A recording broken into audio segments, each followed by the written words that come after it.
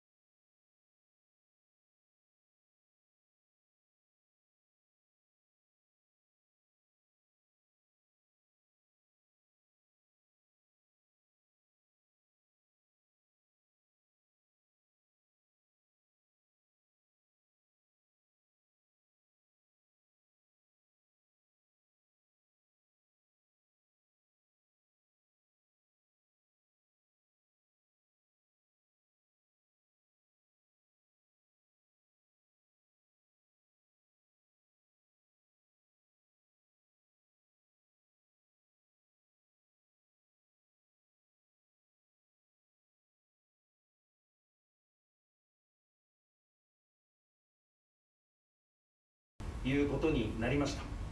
中身を少し見ていきたいと思いますがデジタル化介護の世界でもデジタル化は再起動しました。科学的介護デジタルによって科再学的開した。介護が進めば受ける方も国にとってもそしてサービスを提供する側にとっても皆さんすいません。プラスになることは間違いがないと思っており固まってました。今回の再起動させましたので大丈夫介護です現場での客観的データこれを国にあげる。受け取った国はこれを分析をしてそしてまた現場に戻す。その戻されたフィードバックされた情報で新たな計画をの？実行に移していく。こ僕のサイクルが徹底をされることによってありがたいことで報酬を加算すると。いう今回の改定の中身がありましたが実はこれを喜んでいるやる気のあるというとみんなやる気があるんですが先端を行く皆さんは大いに喜んでいる。しかし一方で人手不足に悩む介護施設の皆さんにとってはですねデータの入力入力そして国にあげる作業これが手間だと。若干の報酬を加算されたとしてもそんなことまでできっこないよという声があるのも事実であります。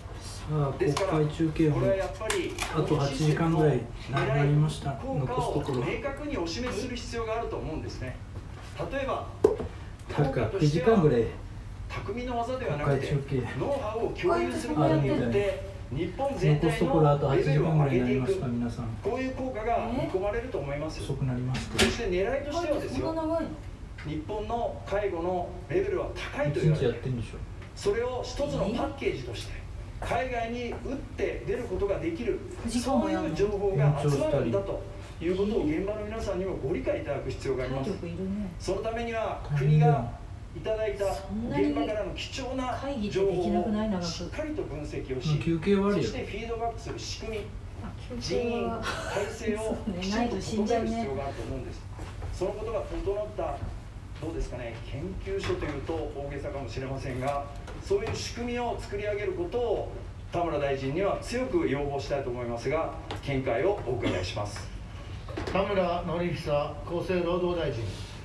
あの委員には大変平素からお世話になっておりましてありがとうございます。介護の分野ですね大変ご臓器が深いわけでありますしいろんなご提案も平素にいただいております。あのそれぞれいろんなご意見いただく中においてですねえ科学的根拠に基づいた介護というのは大変重要でありあの日本の簡単介護保険、えーこれ、えーしっかりとですね、まあ、重症化を予防し自立支援していくという形これをさらに強化していかなきゃならないわけでありますがもともとですねあのビジットっていうシステムそれからチェイスというシステムがありました。えーベジットはですねあの訪問だとか通称リハビリ、えこういうもののデータを集めて分析する。またチェイスはあの高齢者の、まあ、状態でありますとかケアの内容等々こういうものをデータとして分析してフィードバックする、まあ、こういうシステムだったんですがあの2つをもう統合してもっと効率化して分かりやすくしてお示ししようということでライフというような、まあ、そういうシステムをコンパ作る中において今委員がおっしゃられるようにですね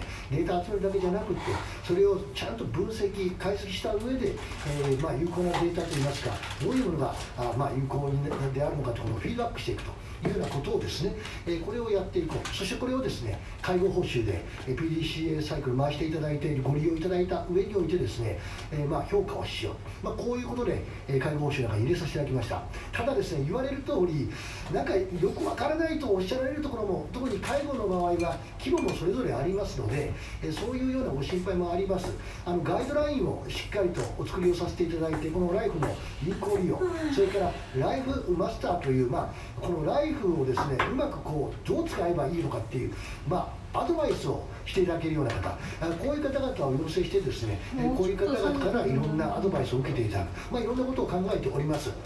あのいずれにいたしましても、まだまだ改良していかなきゃなりませんので、有識者のご意見もいただかなきゃなりませんし、合わせて、やはり介護現場の声もしっかりとお聞かせをいただいた上で、より良いものにしていきたいというふうに思っております。あのまあ、今、スタートしたばかりでございますから、さらにこれを強化をしようというお話でございますので、えしっかりとまた委員のご意見もいただきながらですね、えこれをより良いものにさせていただいて、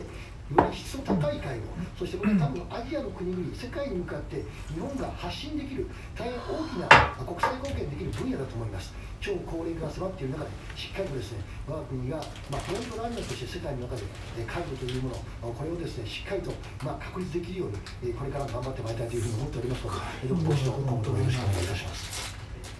大家聡君。チェイスビジットの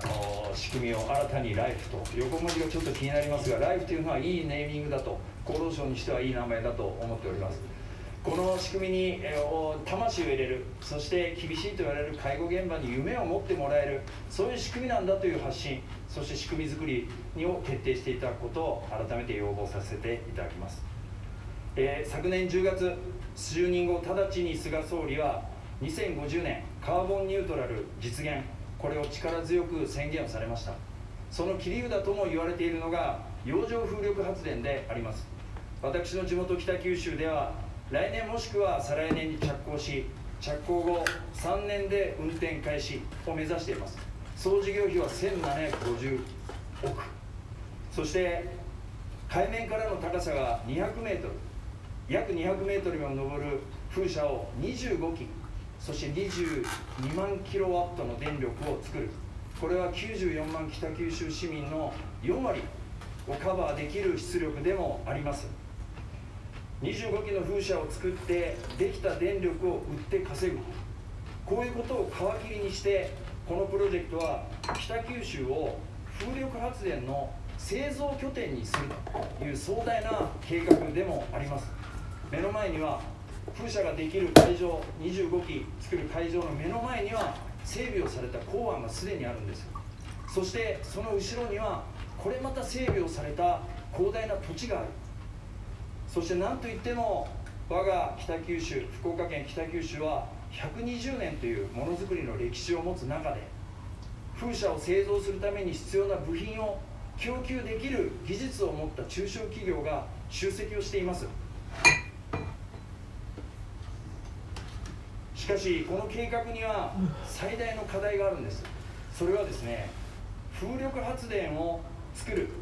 国産メーカーがないということであります。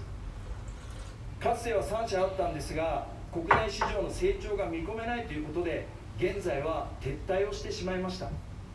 今は欧米のメーカーに頼らざるを得ないというのが現状なんです。3年後に完成するであろう北九州のこの25機も実は風車は輸入品なんです。今手を打たなければ北九州のこの壮大な計画原材料から製品までいわゆるサプライチェーンを構築してこの力で稼いでいく。そしてその後はメンテナンスでもきちんと稼ぎ道を作っていく。という本当に実のある計画でありますがこのままでいけばその稼ぎの多くを外国に取られてしまいかねないということであります。この課題克服のために政府のそして菅総理の強力な後押しが必要ですが見解をお伺いしたいと思います。菅内閣総理大臣。国土の面積に制約があるバンクにとって電源の脱炭素化を進めていくには洋上風力発電を最大限導入していくことが必要だと思っています昨年末に取りまとめたグリーン船長戦略。ここにおきまして2040年までに3000万から4500万キロワットという導入を目標とするとともに立地関係者との調整送電線や交番の整備関連する規制改革こうしたものにもしっかり取り組んでいかなきゃならないと思ってます。また一方今ご指摘いただきましたように現状は風力発電の機械の製造は欧米のメーカーに頼らざるを得ないというふうにも承知しています。しかしバンクの中小企業をはじめとしたものづくり産業の結集力を結集することで高品質の発電機や耐久性のある風車の羽の素材などにより世界をリードする競争を有するサプライチェーンを構築するこのことを期待しています産業界において成長分野である洋上風力に対し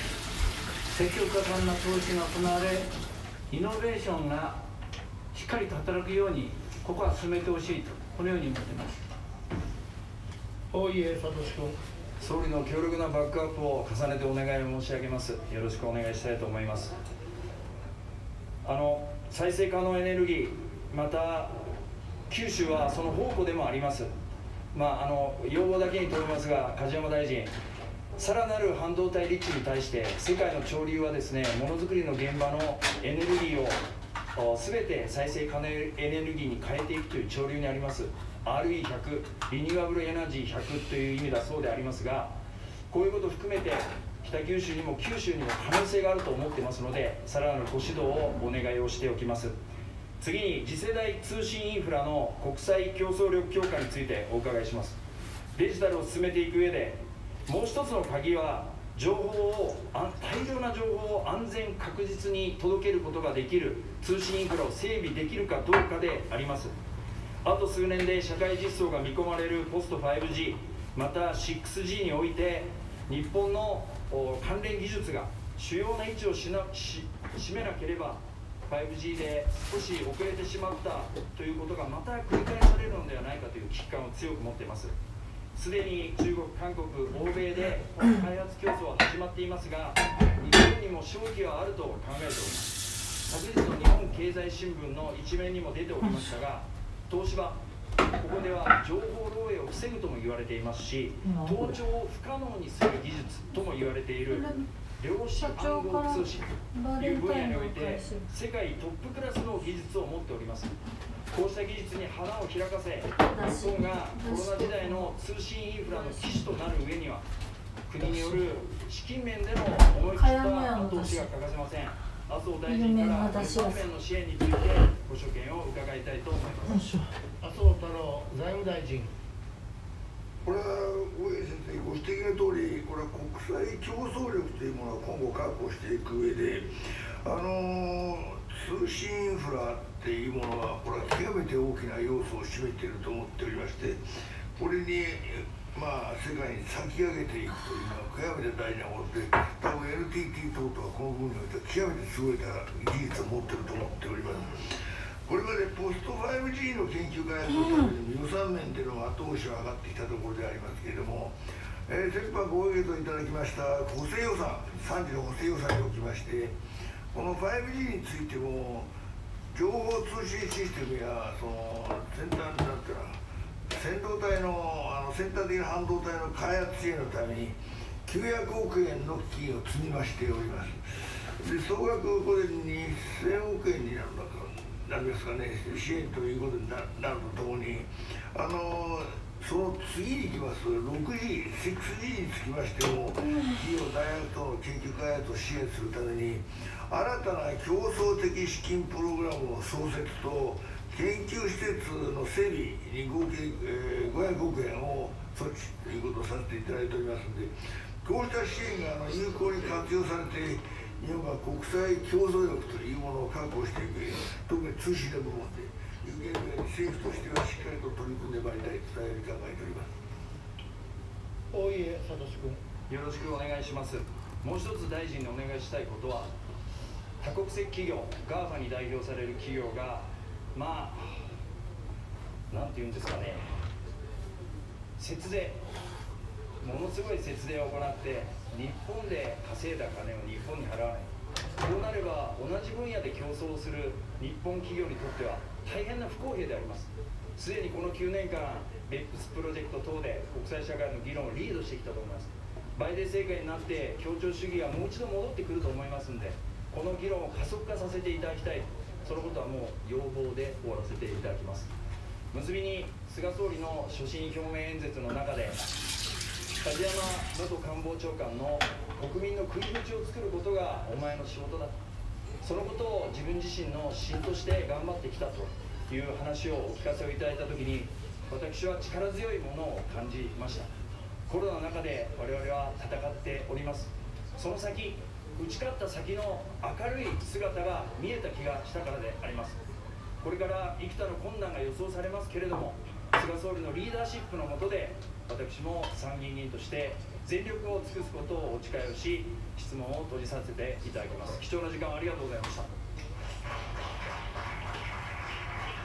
以上で大家聡君の質疑は終了いたしました。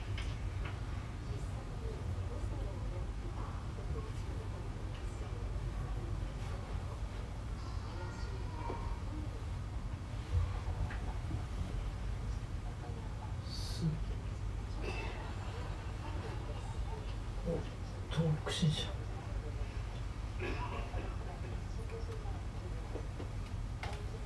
えー、東北新社の代表取締役社長の中島信也でございます、えー、貴重なお時間ちょっといただきまして少し、えー、お詫びを申し上げたいと思います。まずはじめにですね今回当社において外国人株主の議決権が放送法に定める結核自由に該当するにもかかわらず誤って申請を行ったことまた総務省関係者の不適切な会食でさまざまな疑念を持たれることに至りましたことにつきましては番組を楽しみにしていただいているお客様お取引先投資家の皆様をはじめ多くの関係者の方々に多大なるご心配とご迷惑をおかけしておりますことを心より深く申しお詫び申し上げます。すでにあの当社において社外の専門家を含む特別調査委員会を立ち上げまして中間報告の結果に基づいて前社長が隕石辞任しさらに関係者を処分いたしましたがさらに真相究明を進め二度とこのような不適切な行為が行われないよう再発防止に努めてまいります。新たに経営を預かる者として当社グループの信頼回復に全力で努めてまいります。本日は私自身が2月末に社長に就任しまたこれまで衛星放送に関わる業務を行っていなかったことから現在も鋭意勉強中ではございますけれどもこれまでの特別調査委員会の調査に基づいて私が認識し理解できている範囲で可能な限りお答え申し上げたいと思っております。その上でご質問にお答え申し上げます、えー、申請段階で当社が外資規制違反の事実を認識していたのかどうかということなんですが、えー、2016年10月に申請した BS 左遷 4K に関するご質問のことだと思うんですがその時点においては認識しておりませんでした。また外資比率の計算は担当者が行って行っておりましたが別のものがチェックする体制となっていなかったとの報告を受けております。この点は本当に大変反省しており体制の改善を進める所存でございます。以上お答えいたしました。新藤金彦君、えありがとうございます。えー、外資規制違反の事実の認識不足ということと、まあ、外資比率を、まあ、計算、そのチェックができてないまま申請したということであります。まあ、放送法を熟知している上場企業として、申請の計画自由である外資規制に対する認識が甘すぎるということだと思います。極めて遺憾であります。え次に政府参考人にお尋ねいたします。株式会社東北新社の認定申請を受けた総務省側としては、外資規制についてどのような審査をしていたのかお聞きします。総務省吉田博情報流通行政局長。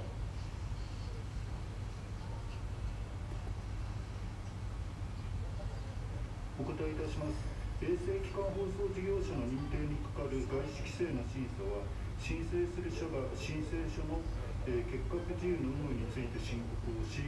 総務省において申告が行われたチェック欄を確認することにより行われております。2017年1月の東北新社の雑誌ネマ 4K にの業務にかかる認定時においてもこのような方法により確認をしております。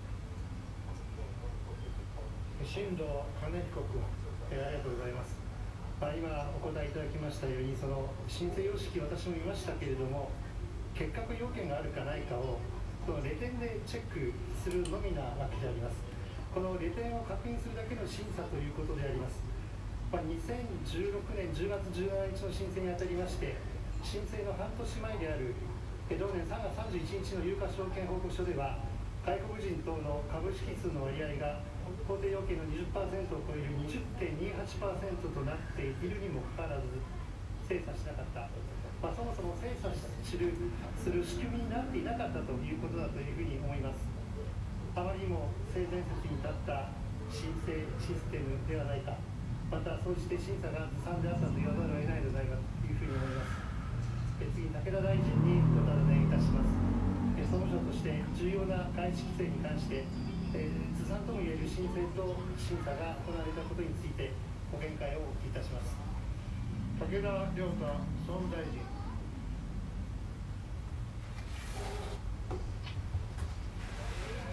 放送法では外国製排除の観点から衛星機関放送事業者について外国人等が直接的に占める議決権の割合が20%以上となることを結核自由としております。このような重要な規律である外資規制に対する違反について株式会社東北新社の申請書におけるミスが主たる原因であるとはいえ認定当時のプロセスにおける総務省側の審査も十分でなかったと考えておりこうした事態が生じたことを重く受け止めております。えこうした事態を二度と起こさないよう総務省における審査体制の強化についても検討してまいりたいと考えております。新藤亀彦君はい、えー、大臣ありがとうございます。次にあの中島参考人にお尋ねいたします、え、株式会社同陳社としては、まあ、今先ほどお答えありましたように自ら申請時のミスを認めているわけでありますがいつの時点で外出規制に違反していることに気づかれたのかまた気づいた後に総務省にはいつどのように報告したのかお聞きいたします。中島信也参考人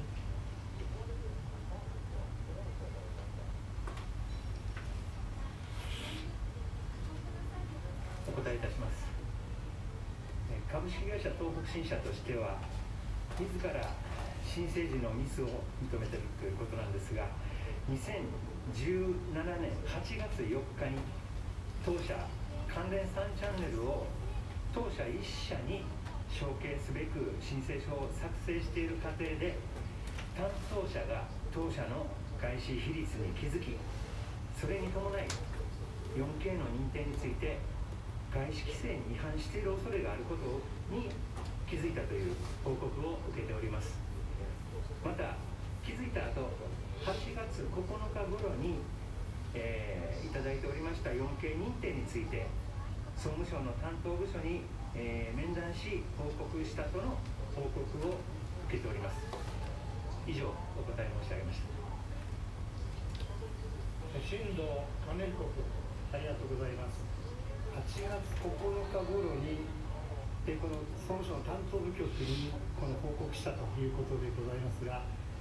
まあ、これあの開始比率がこの法定の結核自由に抵触するという重大な局面これ何らかの文書かなんかで報告するっていうのが通常だというふうに思いますけれどもそこを少し確認したいと思います。で政府参考人にお尋ねいたします。で総務省としては株式会社登記審者から外資規制に抵触する旨の報告を受けた事実があるのかどうかお聞きいたします吉田博情報流通行政局長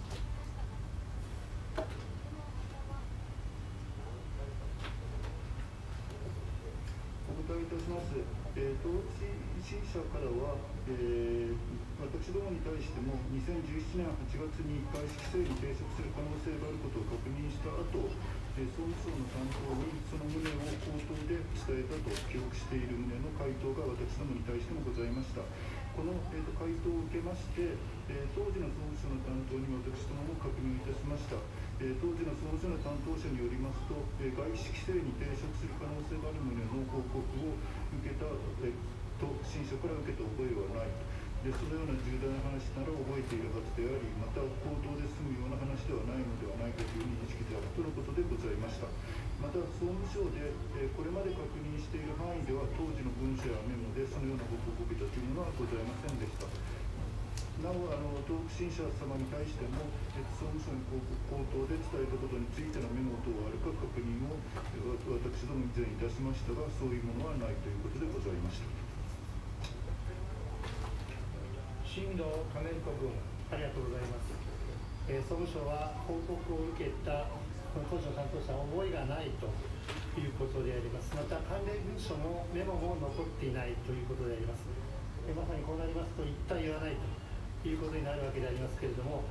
え、武田大臣にお尋ねいたします。株式会社東北新社とそれから総務省の双方とも外資規制に関する認識が甘く審査体制のずさんな中にありましてですねこの総務省は株式会社東北メディアサービスの認定を取り消す方向でございますがこの外資比率の報告に関する認識にこれ双方とも相互がある中にありましてですねこの総務省として今後どのように本事案に対し決着を図るつもりなのかお聞きしたいと思います。武田総務大臣。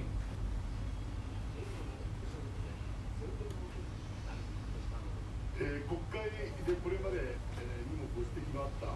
衛星一貫放送の業務を行おうとする者の認定に関し行政が歪められたのではないかとの疑念に答えるべく検事経験者を含む第三者の有識者で構成する検証委員会を今週中に立ち上げる予定となっています。客観的公正に検証いただけるよう具体的な検証内容や方法については委員会でご審議をいただくことになりますがただいまのご指摘についても委員会にご報告の上ご審議いただくことになると考えております。新藤亀被告ありがとうございます。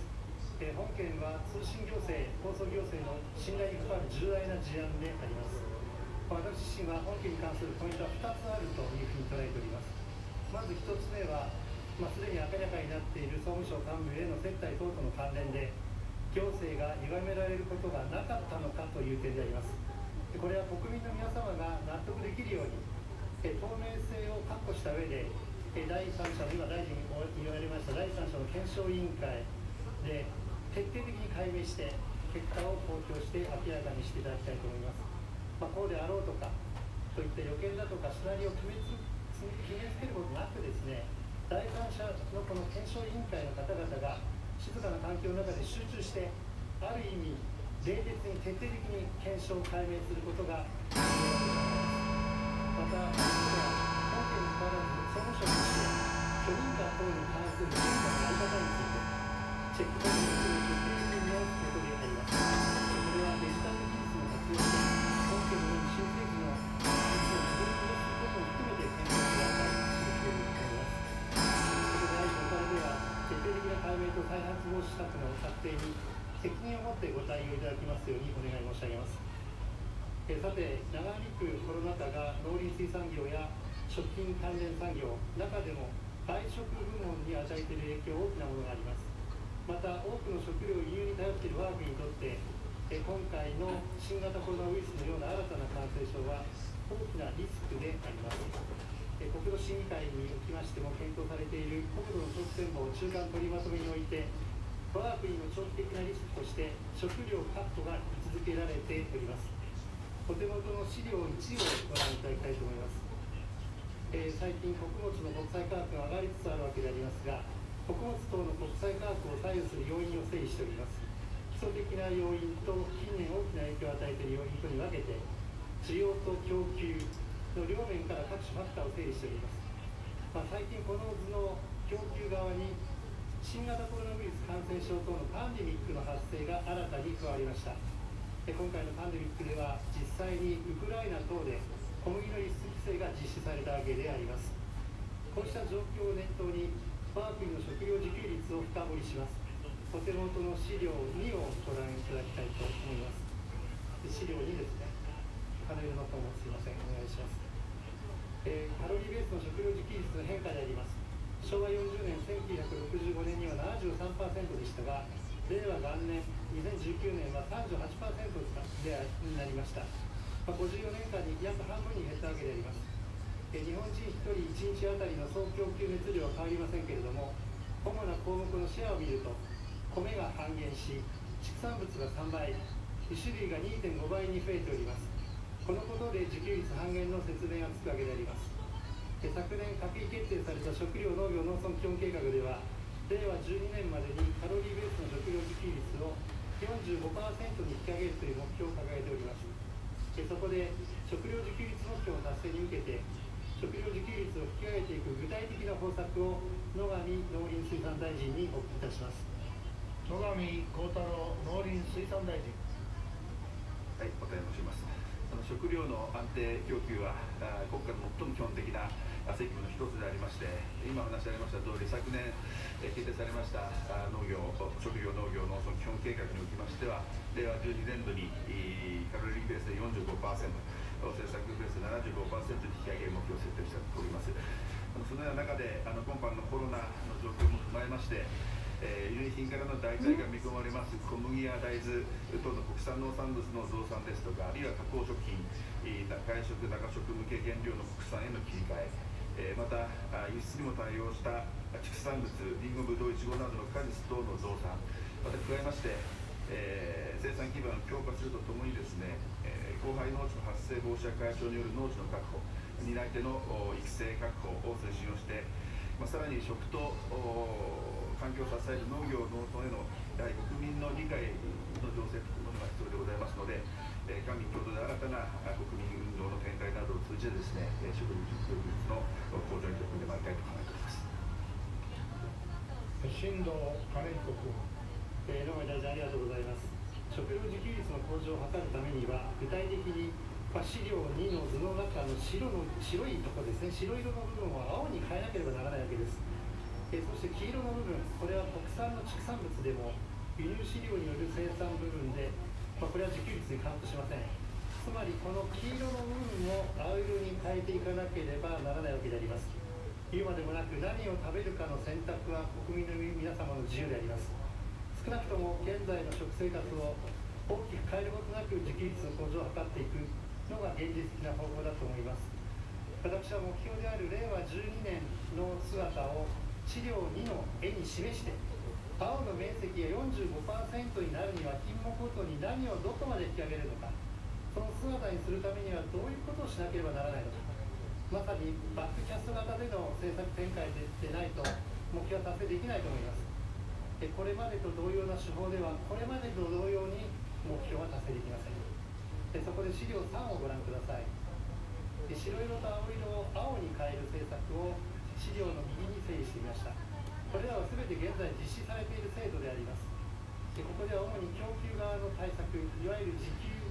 食料自給の力自給力を高める政策を列記しております。中央側の政策は4の丸2にありますように食育の推進国産農産物消費拡大対策などです。私として最も危惧するのが国産の農産物の需要があるのに国内の生産体制の弱体化で需要に見合う供給ができなくなることであります。でこれにより結果的に輸入に輸入に頼らざるを得なくなり輸入の増加によりさらに国内の生産体制が弱体化していく。でまさに負のスパイラルの中で自給力も自給率も双方が落ち込むというこれは取り返しがつらくなるなるわけであります。私は現在の農政を食料安全保障政策推進の観点から体系を見直すべきで例えば私は今示したような体系で、え都市の方々をはじめですね国民の皆様方に丁寧に説明をし理解を得ていく必要があると考えております、まあ、これ今野上大臣もご指摘になられました。やはり国民の皆様にご理解いただくことが重要だと思います。広く国民の皆様に食料安全保障政策の必要性と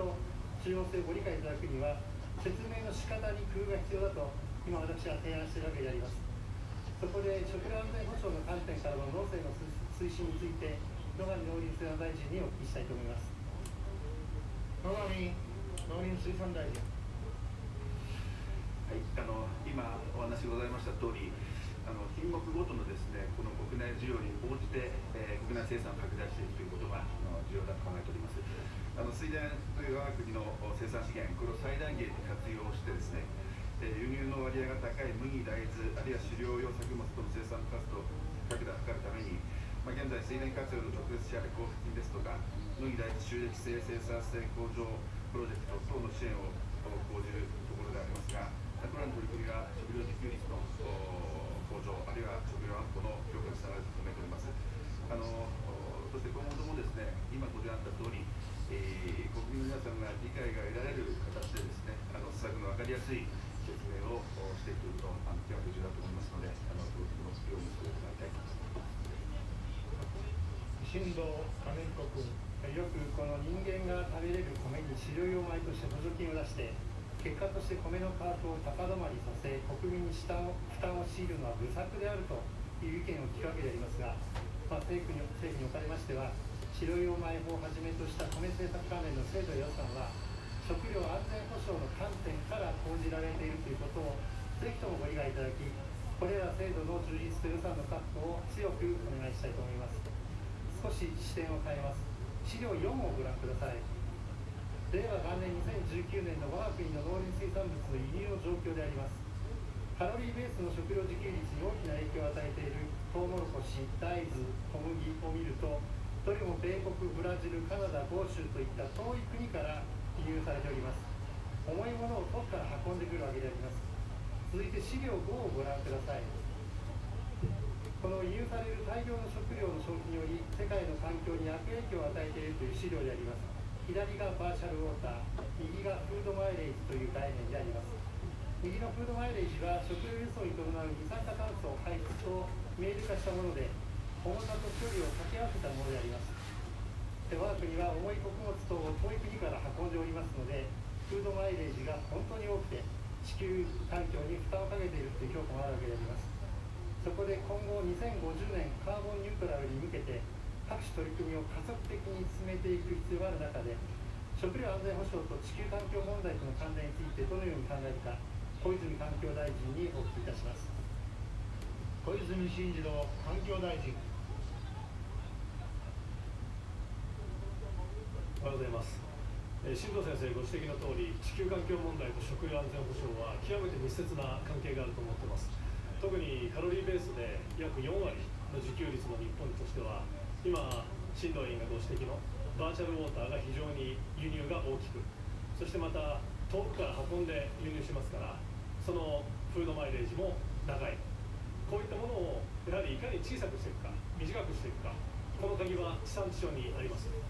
え、今環境省としても地域で循環する経済圏を作る地域循環共生圏という発想をやっていますが農水省の方では緑の食料システムこういった政策は方向性として非常に関係するところが深くありますので改めてこの機会に国民の皆さんにあの菅総理が2050年カーボンニュートラルと宣言されてなんか方向性は出たけど我々一人一人って何ができるんだろう？そういう時にぜひ地産地消をお願いします食品ロスも削減しましょうこういったところも一人一人ができるカーボンニュートラルに向けたライフスタイルだと思います。新藤金彦君、えー、小泉大臣分かりやすいご答弁ありがとうございました。小泉大臣には引き続き環境政策に強力に、まあ、牽引いただきたいというふうに思います、まあ、現在農林水産省が主体となって策定作業を進めている今小泉大臣ご指摘の緑の食料システム戦略。これは極めて重要であります。えぜひとも環境省をはじめ省庁の連携をさらに強化いただきオール霞が関で緑の食料システム戦略の策定と実行に取り組んでいただくことを強く希望いたします。さてここまでの一連の質疑をお聞きいただき食料安全保障確立に向けた政策推進について菅総理のお考えをお聞きしたいと思います。菅内閣総理大臣。食料の安定供給は国家にとって最も基本的な責務である。このように認識しています。この責務を果たすためにはまずは国内の農業を成長産業として育成し生産拡大していく。このことが必要だという考えです。これまで進めてきた農業の改革は意欲と能力のある農家が自らの経営判断で作物を自由に選択できるようにするものであります。長期的な需要が減少している米から輸入依存度の高い麦や大豆等への転換に取り組む産業を支援し輸入から国産へ切り替えを進め国内の生産量を増大させていきたいというふうに思います。さらに農産品の輸出拡大は農家の所得を引き上げると同時に我が国の生産余力を向上させるものであると考えます。こうした施策を着実に推進することで食料安全保障の確立をしっかりと図っていきたいこのように新藤金彦君。はい、えー、ささありがとうございます脳は国のもといであります農家の方々には国を支えているという誇りと矜持があるわけでありますでこうした思いに応えるべく今総理おっしゃいましたようにしっかりと食料安全保障政策の推進お願いしたいというふうに思いますまあ、少しちょっと時間の関係もありますので質問を飛ばしていきたいと思います。農産業村地域の振興対策に移りたいと思います。昨年12月21日に第2期町町人仕事創生総合戦略が閣議決定されました。資料7をご覧ください。総合戦略の横断的な目標に掲げられている地方に人材を派遣する制度の一覧であります。私は地方創生の取り組みの大きなポイントは多様な人材が事情の異なる全国の各地域で生き生きと活躍できるようにすることだと思いますえそこでえ地方への人材供給政策の現状と今後の見通しについてえ坂本地方創生担当大臣にお聞きしたいと思います坂本哲司国務大臣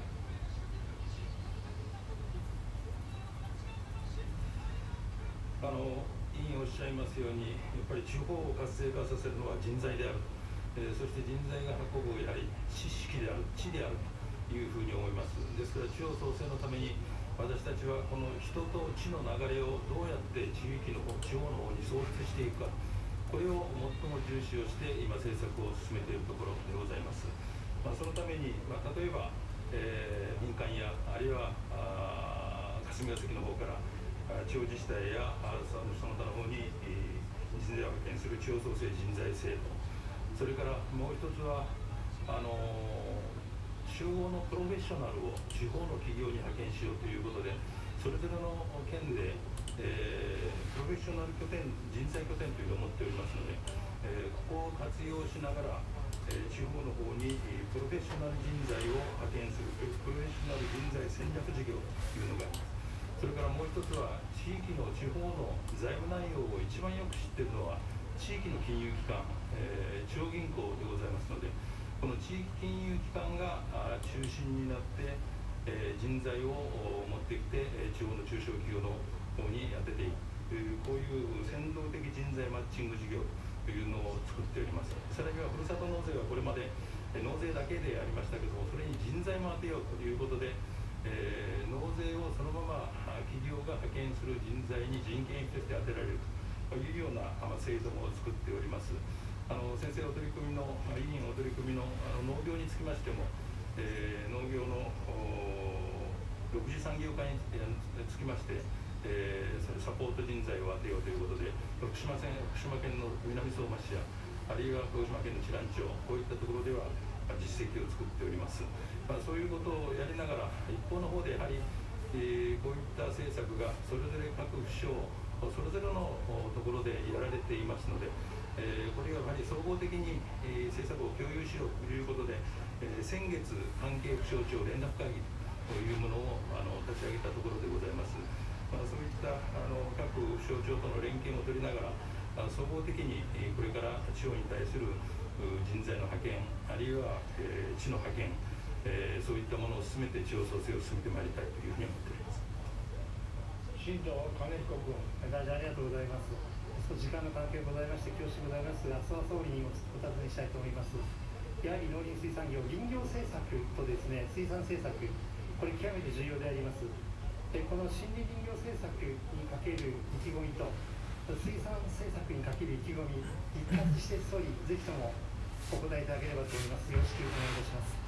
菅内閣総理大臣。まず我が国の近隣は国内の木材需要を大幅に上回る豊富な資源度を有しているにもかかわらず担い手が不足している十分な管理も行われず放置され放置されている例が目立っていますこうした状況を脱するために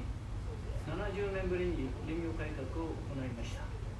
また漁業改革も同じく70年ぶりであります。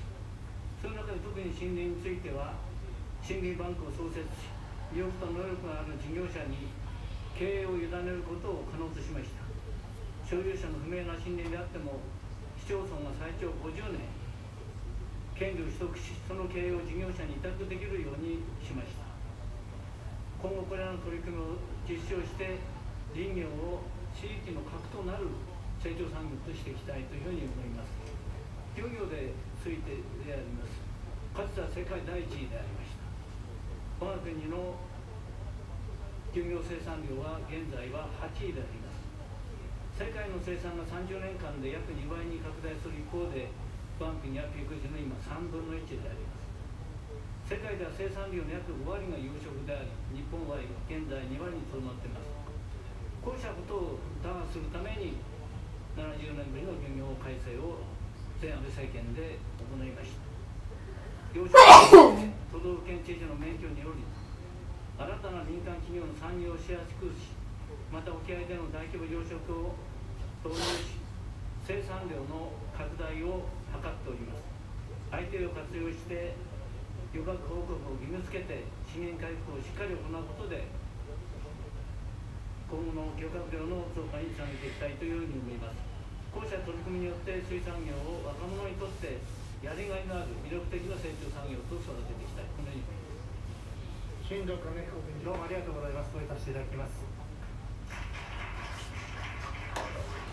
以上で新藤金彦君の聞きは終了いたしました。ご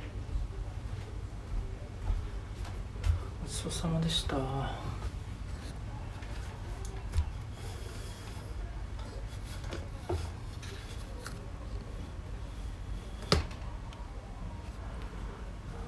ご視聴ありがとうございました。それでは、おやすみなさい。